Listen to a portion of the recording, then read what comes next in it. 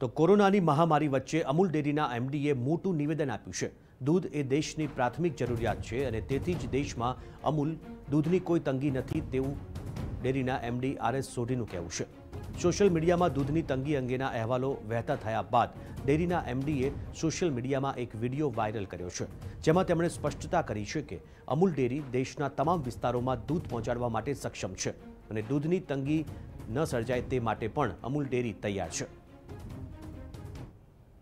हमारे सब करोड़ों कंज्यूमर्स को विश्वास देना चाहता हूँ कि अमूल मिल्क और मिल्क प्रोडक्ट्स में कोई शॉर्टेज नहीं आने वाली। क्यों?